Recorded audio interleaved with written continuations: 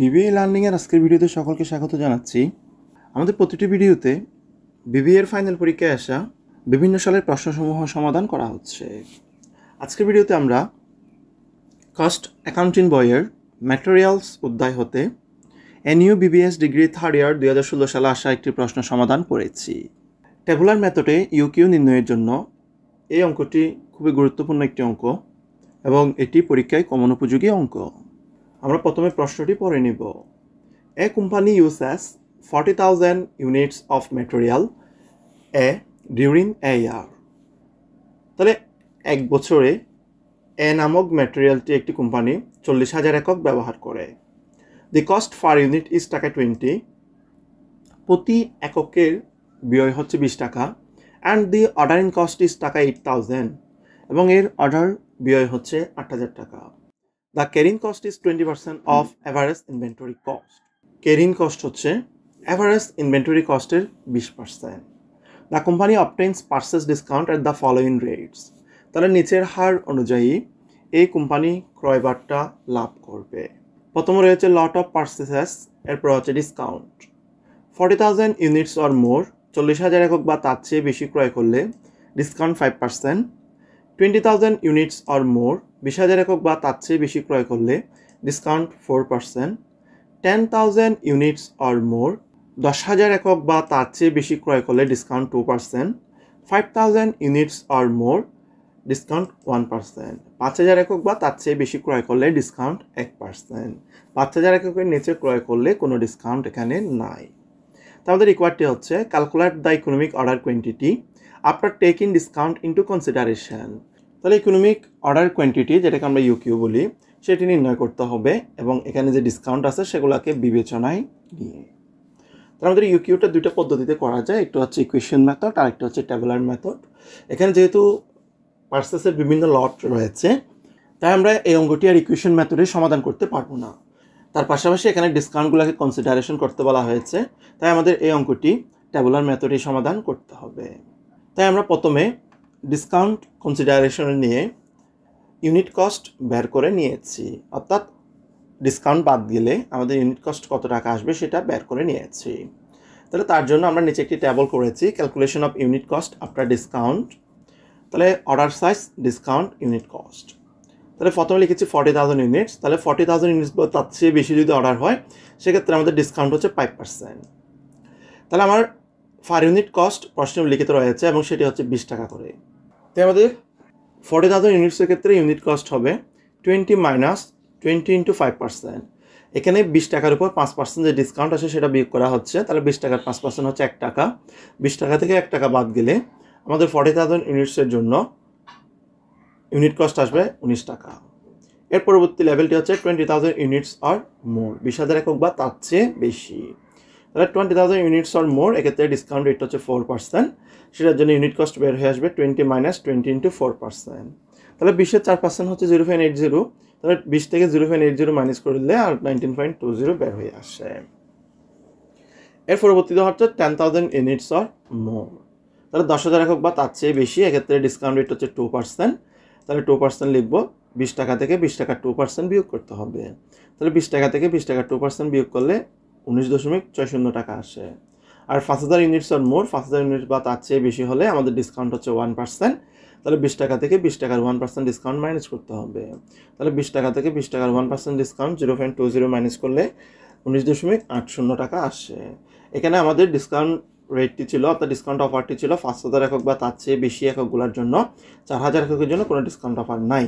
চার হাজার এককের জন্য ডিসকাউন্ট রেট হচ্ছে জিরো পার্সেন্ট অর্থাৎ এক্ষেত্রে বিশ টাকা পুরো টাকায় দিয়ে ক্রয় করতে হবে। আমরা এখানে চার হাজার জন্য বের করে নিয়েছি। তার কারণ হচ্ছে, আমরা যখন ট্যাবুলার মেথডে ইউকিউটা বের করব, তখন অর্ডার সাইজের মধ্যে আমরা চার হাজারটাও ব্যবহার করব।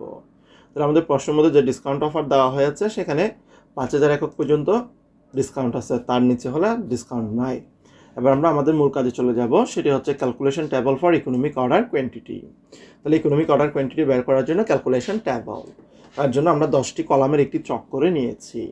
প্রথম কলামটির নাম হচ্ছে অ্যানুয়াল ইউসেস এরপর দুই নম্বরটি হচ্ছে অর্ডার সাইজ, এর পরবর্তীটি হচ্ছে অর্ডার নম্বর, এরপর চার নম্বর কলামটি হচ্ছে অ্যাভারেজ ইনভেন্টরি পাঁচ নম্বর কলামটি হচ্ছে কস্ট ফার ইউনিট ছয় নম্বর কলামটির নাম হচ্ছে অ্যাভারেজ ইনভেন্টরি কস্ট সাত নম্বর কলামটি হচ্ছে ক্যারিং কস্ট আট নম্বর কলামে রয়েছে অর্ডার ইন কস্ট নয় নম্বর কলামটি হচ্ছে কস্ট অফ পারচেস আর দশ নম্বর কলামটি হচ্ছে টোটাল কস্ট তাহলে আমাদের অ্যানুয়াল ইউজেস প্রশ্নে লিখিত আছে চল্লিশ হাজার একক, তাই আমরা নিচে এসে অ্যানুয়াল ইউজেস প্রতিটি করে চল্লিশ হাজার একক করে বসাবো। অথবা এই এক নম্বর কলামের রোগুলো না টেনে সবগুলা ঘরের জন্য আমরা একবার চল্লিশ হাজার একক লিখলে হবে। আর যদি রোগুলো এদিক দিয়ে টেনে দিই, তাহলে প্রতিটি করে চল্লিশ হাজার লিখতে হবে। এবার হচ্ছে অর্ডার সাইজ। তাহলে অর্ডার সাইজটা আমরা নিব। বাৎসরিক যে ব্যবহার করতে হবে, সেটার উপর ভিত্তি করে। তাহলে আমরা প্রথমে অর্ডার দেব, ধরলাম চল্লিশ হাজার, এরপর অর্ডার দেবো বিশ হাজার, এরপরে ধরেছে দশ হাজার, এর পরবর্তীতে ধরেছে হচ্ছে আট হাজার, এর পরবর্তীতে ধরা হচ্ছে পাঁচ হাজার, এরপর অর্ডার সাইজ নিয়েছে চার হাজার। অর্ডার সাইজটা আমরা এমনভাবে নিব যাতে এক বছরের ব্যবহারকে অর্ডার সাইজ দিয়ে ভাগ করে ভাগফলটা যাতে কোনো ধরনের দশমিক সংখ্যা বা ভগ্নাংশে না আসে। আমরা অর্ডার সাইজটি এভাবে নির্ধারণ করব। আমরা চল্লিশ হাজারের পরবর্তী যদি অর্ডার সাইজ তিরিশ হাজার নির্ধারণ করতাম, তাহলে আমাদের চল্লিশ হাজারকে তিরিশ হাজার দিয়ে ভাগ করলে একটা ভগ্নাংশ চলে আসতো, একটা দশমিক সংখ্যা চলে আসতো। আবার যদি পনেরো হাজার নিতাম, সেক্ষেত্রেও একটি দশমিক সংখ্যা চলে আসতো। তাই আমাদের অর্ডার সাইজগুলো এমনভাবে নির্ধারণ করতে হবে, যেটাকে অ্যানুয়াল ইউসেসকে অর্ডার সাইজ দিয়ে ভাগ করলে কোনো ধরনের দশমিক সংখ্যা না আসে। এর পরবর্তী কোডটি হচ্ছে অর্ডার নম্বর। এক্ষেত্রে আমরা লিখেছি এক ভাগ দুই। তাহলে এক ভাগ দুই, এটা দ্বারা বোঝাচ্ছে এক মানে হচ্ছে এক নম্বর কলাম আর দুই মানে হচ্ছে দুই নম্বর কলাম। তাহলে এক নম্বর কলামে যে চল্লিশ হাজার আসে, সেটাকে দুই নম্বর কলামের অর্ডার সাইজ দিয়ে যখন ভাগ করব, তখন আমার অর্ডার নম্বরটি বের হয়ে আসবে।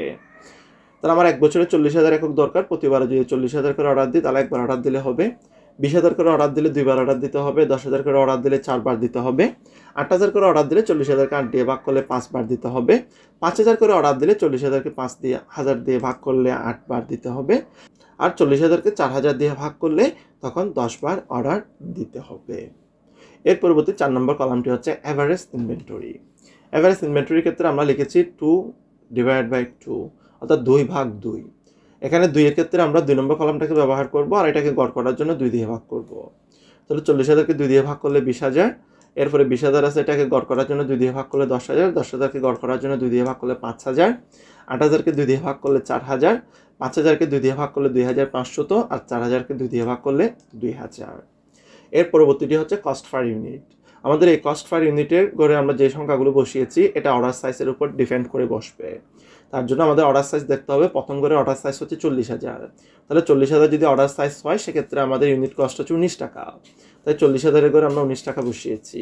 তার পরবর্তী অর্ডার সাইজ হচ্ছে বিশ হাজার। তাহলে বিশ হাজার একক বা তার চেয়ে বেশি যদি অর্ডার সাইজ হয়, সেক্ষেত্রে আমাদের ইউনিট কস্ট হচ্ছে উনিশ টাকা বিশ পয়সা। তাই পরবর্তী করে আমরা উনিশ টাকা, বিশ পয়সা বসিয়েছি। তার পরবর্তী অর্ডার সাইজ হচ্ছে দশ হাজার। দশ হাজার একক যদি অর্ডার সাইজ হয়, এক্ষেত্রে আমাদের ইউনিট কস্ট হচ্ছে উনিশ টাকা, ষাট পয়সা। তাহলে দশ হাজার এককের করে আমরা ইউনিট কস্ট বসালাম উনিশ টাকা, ষাট পয়সা। আমাদের এর পরবর্তী অর্ডার সাইজটি হচ্ছে আট হাজার একক। আমাদের এখানে যে লেভেলটি করেছি অর্ডার সাইজে সেখানে আমরা আট হাজার এককের জন্য কোনো ঘর নাই, তবে সেটি এখানে পড়ে যাবে হচ্ছে পাঁচ হাজার ইউনিটস আর মোরের মধ্যে। তাহলে পাঁচ হাজার ইউনিটস আর মোর বলতে এখানে দশ হাজারের চেয়ে কম, তবে পাঁচ হাজারের চেয়ে বেশি। পাঁচ হাজার বা পাঁচ হাজারের চেয়ে বেশি যে এককগুলো আসে, সবগুলো ঢুকে যাবে। তাই আট হাজার একক যেটি আছে, সেটা পাঁচ হাজার ইউনিটস আর মোরের মধ্যে পড়বে। এক্ষেত্রে রেটটি হবে উনিশ টাকা আশি পয়সা। তাই আট হাজারের জন্য রেটও হয়েছে উনিশ টাকা আশি পয়সা, পাঁচ হাজারের জন্য রেটও হয়েছে উনিশ টাকা আশি পয়সা। এর পরবর্তী অর্ডার সাইজটি হচ্ছে চার হাজার। চার হাজারের জন্য কোনো ধরনের ডিসকাউন্ট নেই, তাই পুরো বিশ টাকা দিতে হবে। এর পরবর্তীতে লিখেছি অ্যাভারেজ ইনভেন্টরি কস্ট তাহলে অ্যাভারেজ ইনভেন্টরি কস্টটা বের করতে ছয় নম্বর কলামে এসে আমরা ফোর ইন্টু ফাইভ এখানে ফোর ইন্টু ফাইভ দ্বারা বোঝাচ্ছে ফোর মানে হচ্ছে চার নম্বর কলাম ফাইভ মানে হচ্ছে পাঁচ নম্বর কলাম। তাহলে চার নম্বর কলামের সংখ্যাকে যখন পাঁচ নম্বর কলামের সংখ্যা দিয়ে গুণ করব, তখন আমাদের ছয় নম্বর কলামের টাকা বের হয়ে আসবে। তাহলে বিশ হাজারকে উনিশ দিয়ে গুণ করলে তিন লক্ষ আশি হাজার, দশ হাজারকে উনিশ টাকা বিশ পয়সা দিয়ে গুণ করলে এক লক্ষ বিরানব্বই হাজার পাঁচ হাজারকে উনিশ টাকা ষাট পয়সা দিয়ে গুণ করলে আটানব্বই হাজার, চার হাজারকে উনিশ টাকা আশি পয়সা দিয়ে গুণ করলে উনআশি হাজার দুইশত, আড়াই হাজারকে উনিশ টাকা আশি পয়সা দিয়ে গুণ করলে উনপঞ্চাশ হাজার পাঁচশত। এর পরবর্তী গড়টি হচ্ছে সাত নম্বর কলামে ক্যারিং কস্ট আমাদের ক্যারিং কস্টের ব্যাপারে প্রশ্নে উল্লিখিত আছে, এই ক্যারিং কস্টের পরিমাণ হবে টোয়েন্টি পার্সেন্ট এবং সেটা হবে অ্যাভারেজ ইনভেন্টরি কস্টের উপর। তাহলে ক্যারিং কস্টটি হচ্ছে অ্যাভারেজ ইনভেন্টরি কস্টের টোয়েন্টি পার্সেন্ট তাই অ্যাভারেজ ইনভেন্টরি কস্টটা আমাদের ছয় নম্বর কলামে বের করা আছে।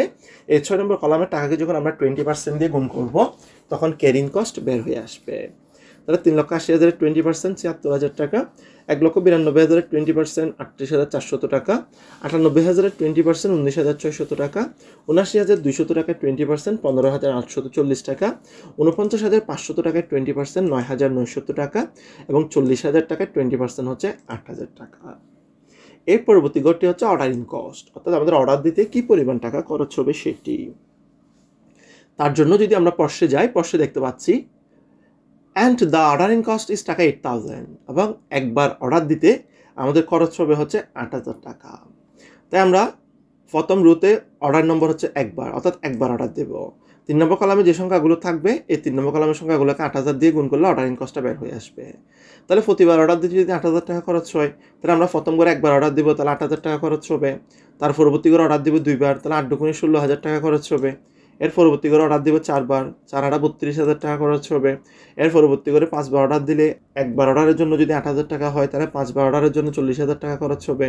এর পরবর্তীতে আটবার অর্ডার হলে চৌষট্টি হাজার টাকা, দশবার অর্ডার হলে আট দশে আশি হাজার টাকা। এর পরবর্তী গড়টি হচ্ছে কস্ট অফ পার্সেস যেটি নয় নম্বর কলামে আছে। আমি প্রতিবার কত ক্রয় করব? চল্লিশ হাজার, বিশ হাজার, দশ হাজার আট হাজার, যাই ক্রয় করি না কেন, আমাকে সারা বছরে কিন্তু চল্লিশ হাজার একক ক্রয় করতে হবে। আমি ভেঙে ভেঙে চল্লিশ হাজার, বিশ হাজার, দশ হাজার, আট হাজার, পাঁচ হাজার এরকম ভেঙে ভেঙে ক্রয় করতে পারব। কিন্তু আমাকে পুরো বছরে অবশ্যই চল্লিশ হাজার একক ক্রয় করতে হবে। তাই আমাদের কস্ট অফ পার্সেস ব্যয় করতে গেলে এক গুণ পাঁচ। এক গুণ পাঁচ মানে হচ্ছে অ্যানুয়াল ইউসের চল্লিশ হাজার একক যেটা আছে, সেটাকে পাঁচ নম্বর কলামের রেট দিয়ে গুণ করতে হবে। অর্থাৎ কস্ট পার ইউনিট দিয়ে গুণ করতে হবে। চল্লিশ হাজারকে উনিশ দিয়ে গুণ করলে সাত লক্ষ ষাট হাজার টাকা আসে। সেটি হচ্ছে প্রথম করে কস্ট অফ পার্সেস আবার চল্লিশ হাজারকে উনিশ টাকা বিশ পয়সা দিয়ে গুণ করলে আসে সাত লক্ষ আটষট্টি হাজার। চল্লিশ হাজারকে আবার উনিশ টাকা ষাট পয়সা দিয়ে গুণ করলে আসে সাত লক্ষ চুরাশি হাজার। এরপরে চল্লিশ হাজারকে যখন আমরা উনিশ টাকা আশি পয়সা দিয়ে গুণ করি, সাত লক্ষ বিরানব্বই হাজার টাকা আসে। পরবর্তী করার জন্য একই। চল্লিশ হাজারকে উনিশ টাকা আশি পয়সা দিয়ে গুণ করলে সাত লক্ষ বিরানব্বই হাজার টাকা আসবে। এর পরবর্তীতে চল্লিশ হাজারকে যখন বিশ টাকা দিয়ে গুণ করা হবে, তখন আট লক্ষ টাকা আসবে। এর পরবর্তী ঘরটি হচ্ছে টোটাল কস্টের আমাদের এখানে তিনটি কস্ট হয়েছে, একটা হচ্ছে ক্যারিং কস্ট একটা হচ্ছে অর্ডারিং কস্ট একটা হচ্ছে কস্ট অফ পার্সেস এই তিনটা কস্ট যখন আমরা যোগ করে দিব টোটাল কস্ট বের হয়ে আসবে। তাহলে ক্যারিং কস্ট আছে সাত নম্বর কলামে অর্ডারিং কস্ট আছে আট নম্বর কলামে, এবং কস্ট অফ পার্সেস আছে হচ্ছে নয় নম্বর কলামে। সাত নম্বর কলামের টাকা, আট নম্বর কলামের টাকা, এবং নয় নম্বর কলামের টাকা যখন যোগ করব, আমাদের টোটাল কস্ট বের হয়ে আসবে। তাহলে ছিয়াত্তর হাজার টাকা, আট হাজার টাকা, এবং সাত লক্ষ ষাট হাজার টাকা যোগ করলে প্রথম ঘরের জন্য আসে হচ্ছে আট লক্ষ চুয়াল্লিশ হাজার টাকা। দ্বিতীয় ঘরে এসে আটত্রিশ হাজার চারশো ষোলো হাজার সাত লক্ষ আটষট্টি হাজার টাকা যোগ করলে দ্বিতীয় ঘরের জন্য আসে আট লক্ষ বাইশ হাজার চারশত টাকা। তৃতীয় ঘরে এসে উনিশ হাজার ছয়শত, বত্রিশ হাজার এবং সাত লক্ষ চুরাশি হাজার টাকা যোগ করলে আসে আট লক্ষ পঁয়ত্রিশ হাজার ছয়শত টাকা। চতুর্থ করে পনেরো হাজার আটশো চল্লিশ চল্লিশ হাজার টাকা এবং সাত লক্ষ বিরানব্বই হাজার টাকা যোগ করলে আসে আট লক্ষ সাতচল্লিশ হাজার আটশো চল্লিশ টাকা। এর পরবর্তী করে নয় হাজার নয়শো ষষট্টি হাজার এবং সাত লক্ষ বিরানব্বই হাজার, দুইটা যোগ করলে আসে আট লক্ষ পঁয়ষট্টি হাজার নশত টাকা। এর পরবর্তী করে আট হাজার আশি হাজার এবং আট লক্ষ টাকা যোগ করলে আসে আট লক্ষ আটাশি হাজার টাকা। তাহলে আমাদের টোটাল কস্টের করে যে টাকাগুলো আছে, সে টাকাগুলোর উপর ভিত্তি করে আমাদের ইকোনমিক অর্ডার কোয়ান্টিটিটা নির্ণয় করতে হবে। তাহলে ইকোনমিক অর্ডার কোয়ান্টিটির ক্ষেত্রে আমাদের একটা বিষয় খেয়াল রাখতে হয়, সেটি হচ্ছে কত পরিমাণ অর্ডার দিলে আমাদের খরচটি সর্বনিম্ন পর্যায়ে থাকে। তাহলে টোটাল কস্টের গড়ের মধ্যে আমরা যদি সবচেয়ে ছোটো টাকাটা দেখি, তাহলে সেটা দেখতে পাচ্ছি আট লক্ষ বাইশ হাজার চারশত টাকা। এটাই হচ্ছে টোটাল কস্টের মধ্যে সবচেয়ে ছোটোটা। তাহলে এই আট লক্ষ বাইশ হাজার চারশো টাকা বরাবর আমরা যদি অর্ডার সাইজটা দেখি, তাহলে সেখানে দেখা যাচ্ছে টোয়েন্টি থাউজেন্ড ইউনিটস তাই আমাদের ইউকিউ হবে বিশ হাজার ইউনিটস নিচে আমরা সেই আনসারটি লিখে দিয়েছি। Total cost is minimum at twenty thousand units taka eight lakh twenty two thousand four hundred তার টোটাল কাস্ট সর্বনিম্ন হচ্ছে বিশ হাজার এককে এবং যার মূল্য হচ্ছে আট লক্ষ বাইশ হাজার চারশো টাকা। So economic order quantity is twenty thousand units সুতরাং ইকোনমিক অর্ডার কোয়ান্টিটি হচ্ছে বিশ হাজার একক আমাদের ভিডিওটি দেখার জন্য সকলকে অসংখ্য ধন্যবাদ। আমাদের পরবর্তী ভিডিও দেখার আমন্ত্রণ জানিয়ে আজকে ভিডিও এখানে শেষ করছি।